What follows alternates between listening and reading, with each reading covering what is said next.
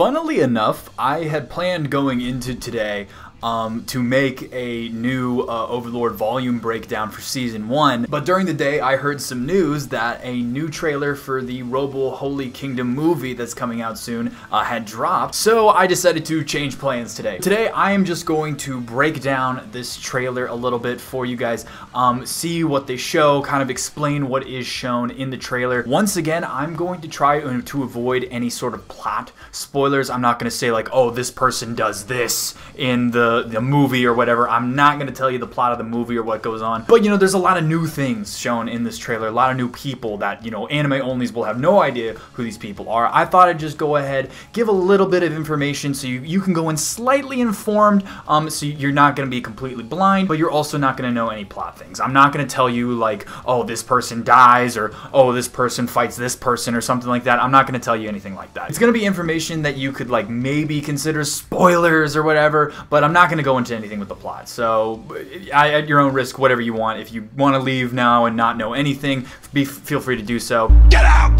Out! But if you aren't, let's go ahead and get into the trailer. There's there's one thing I noticed first, like when we started off, and it maybe it's just the translation with the subtitles. In the subtitles in the trailer, it calls everyone the sacred kingdom. It's the Sacred Queen. Also, Roble is spelled differently. I've always known it as the Roble Holy Kingdom, uh, though, so that's what I'm calling it. Uh, but it seems that it's been translated as like the Sacred Kingdom, which is fine. It's same shit. You, you, you know, whatever. So it starts off here: the Roble Sacred Kingdom, a small country under invasion. So yes, I have explained this before in my Roble Holy Kingdom explained video. I'll leave a link to that. Uh, I'll put a card there if you want to check it out. But yeah, the Roble Holy Kingdom. I guess you could say it's a small country like compared to the three we're really familiar with, which is the Re-Estize Kingdom, Baharuth Empire, and Slane Theocracy, it is smaller than those uh, three, so I guess you could call it a small thing. Ooh, that's kind of small.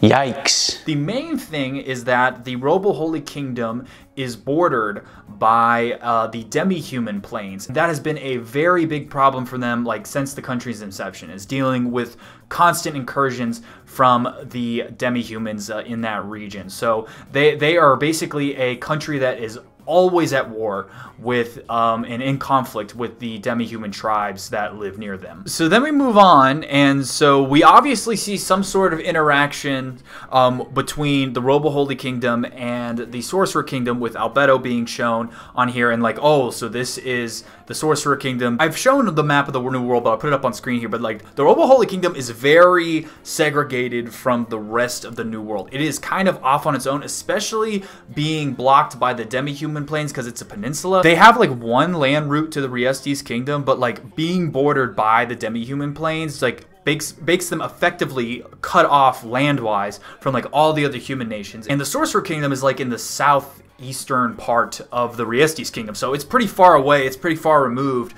from the uh, Roble Holy Kingdom, and so it's not surprising that they haven't like had any interaction with them, uh, you know, at this point, uh, especially because the Sorcerer Kingdom is still pretty early on um, at this point in the story. So then moving on, we see some clips with uh, the Pleiades in their masks. If you recognize these masks from uh, season two during the uh, Operation Gehenna in Re-Estize, I don't feel like this is a spoiler at this point to say, but like obviously we are going to get some Yaldabaoth like role play again from Demiurge, and just from those masks, you can tell like yes, there, there's going to be that again, and also in the teaser trailer that was released before, uh, showed Demiurge in that mask again. So the Yaldabaoth thing is coming back in this movie. I'm trying to skip any plot spoilers here, so I'm not going to talk about what the hell's going on there. So now we have a new character here. Now this girl, her name is Nia, Nia, I think is how you pronounce it. Nia, uh, maybe I don't know. N E I A. That's how you spell her name. She's not exactly normal. Um, as you can see from her face, she's very serious looking. I remember reading somewhere that Maruyama even said that like her mental state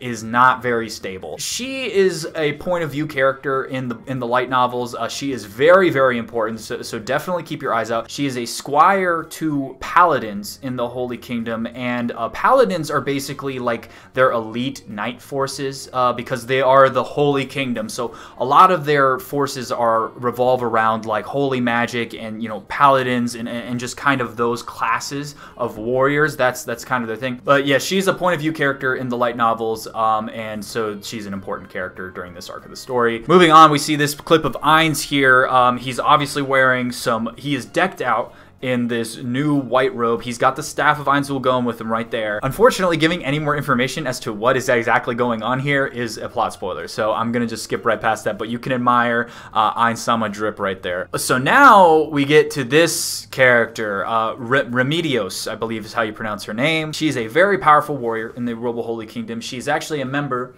of the most elite combat unit in the Roble Holy Kingdom, which is a group called Nine Colors. And I, I really like this a uh, clip of her and like her saying what she says. Also, her voice actress in this clip is nice.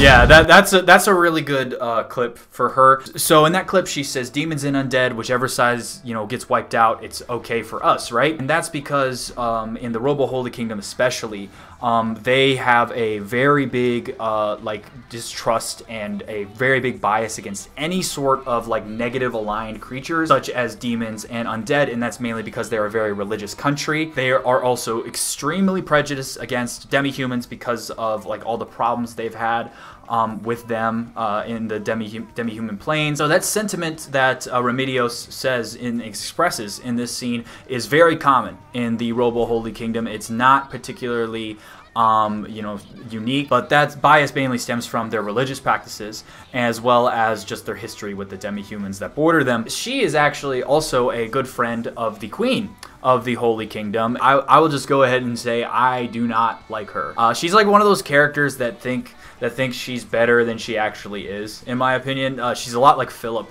in that regard. Just like just unfounded arrogance, I think. Oh my dude, you just got pranked. Now, granted, she has more of a reason to be cocky because she's actually like super powerful, like relatively to like you know her surroundings and everything like that. I'm, I'm not a huge fan of Remedios, so uh, but she but she is a major character in this part of the story. Now, next we have this showing of Kelart Custodio, which is actually um, Remedios's younger sister. So you can see her right there. Now, I have to say, her design in the anime um, she looks kind of different than how I think she does in the light novel. She, she, uh, I, am not entirely sure. Uh, there's only one picture of her from the light novel, I think, and she is a priest. So she's a member of the church, and she is also very powerful as well. She is not a member of Nine Colors, which is their elite battle unit, because um, priests are not allowed to uh, you know be members of that. And the reason why these two are shown is because they are both very close to the queen. They are both like principal advisors to the queen. They are called the wings of the holy queen. Like, and I think that's funny. That, that, just, that just reminds me of One Piece and the wings of the pirate king uh, with Zoro and Sanji. But they are very, very important political uh, people in the Roble Holy Kingdom too. So that's something to remember moving forward. This is Calca Bessarez, and she is the uh, holy queen of the kingdom. She is the ruling monarch, and she is interesting. I actually liked learning about her history um, because it, it, exposes more about the history of the Roble Holy Kingdom. So she is the first actual female ruling monarch in the Holy Kingdom's history. Um, before her, the only like ruling monarchs were men, and because of this, she came into power kind of under a little bit of controversy um, because she has an older brother, and he should have come first in the line of succession based on how this primitive medieval society's succession rules are. Also, there was a little bit of controversy about like the the two sisters that I explained, um, like oh they're supporting her, like oh the temples are, are backing you and everything like that. Oh, I'm taking my headphones off. My heads are getting my. I'm not even listening to the audio anyway. But the whole the Roble Holy Kingdom is divided into two separate like kingdoms really. There's the northern part and the southern part. The northern part is the part that's directly controlled by the monarch. Calca. The southern part, while still technically being under the mantle of the monarchy, uh, the nobles have way more control there than they do in the north. Ever since Calca's ascendancy, they've been they've been stirring. They haven't like openly rebelled or anything. She hasn't like she hasn't like done anything that like could be like openly like you know illegitimate or something like that or be considered illegitimate uh, to like overthrow her. So there hasn't been like open rebellion. They've just been a little more discontent ever since she came into power. Calca isn't necessarily a bad ruler. Um, she's just really idealistic. Uh, she she wants to make a lot of she wants to make everyone happy. She refuses to take like hardline stances with the southern nobles. So like she is it's hard for her to it's been hard for her to consolidate her power over the whole region because of that. Like she she just is uh, sometimes incapable of making the really hard decisions that uh, come with being an absolute monarch. You know, she seems to be portrayed very well, drawn very well in the uh, uh anime. So I'm excited to see her be animated. I liked learning about her um, in the light novel, so we're gonna get more of that. So moving on, we see like some more stuff going on. These are obviously demi-human goat people and holding this uh, person hostage, and, and like there, there's clearly an assault happening. Uh, like there's an demi-human army. That would be plot stuff, so I'm not going to get into that. We have more stuff. See, Remedios uh, frowning, which uh, is not an uncommon occurrence. so I will just go ahead and say that. And then yeah, we have Nia Nihia N-I-A Baraha Baraha Baraja. I don't I don't know if you use pronounce it with the ja or the ha sound. I think it's Baraha. And yeah, Nia, uh, I already talked about Nia, so we'll go ahead and skip over that. I don't know if you guys recognize these, but these are angels, and those are from season one. So the magic casters of the Roble Holy Kingdom are, uh, you know, the religious magic casters. They're all about holy magic and priesthood and stuff like that. It's a holy kingdom, kind of makes sense. It's a religious nation. So like the Slane Theocracy, which is also a religious nation, so they can summon angels like the the uh, Slane Theocracy can. The Archangel Flames. So that is it's similar magic magic between the two,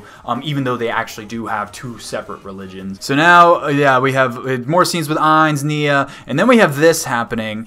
Um, I don't know if I should say anything about this. Uh, yeah, I tell you what, I'm I, am i am just gonna I'm gonna save it. I'll, I'll, I'll save it. Uh, I, I don't I don't know about that. So okay, then we have okay yeah this this freaking thing saying the Sorcerer King is dead. I mean like okay like that's I, I I feel like I can't say anything about that or elaborate on it at all because that's just I that's a, that's a hell of a statement to make. That's the trailer, guys. It's a pretty short trailer. You know, I, I really just wanted to talk more about the Holy Kingdom and the characters that make it up. Now that we're actually seeing those characters, um, you know, new ones introduced, and they like listed their names, and they also talked about their uh, voice actors. It's exciting. The animation looks really good on this. Uh, I'm I'm I'm sure everyone here is just hyped to get more Overlord content. We're all starved for it. I know I am. This is also just a really interesting two volumes that we're gonna get, guys. So um, I hope maybe I provided you with a little more information. Uh, like I said, there I didn't want to do any plot spoilers. There was, there was unfortunately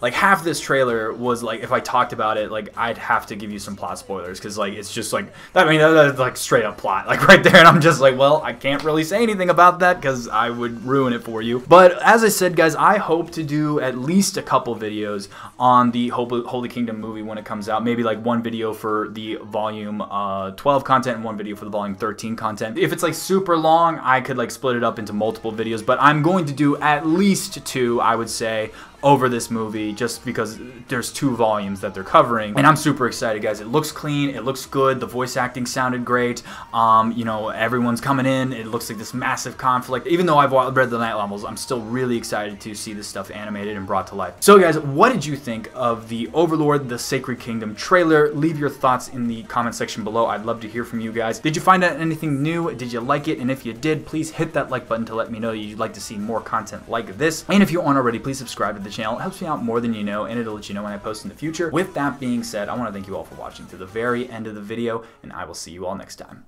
Bye.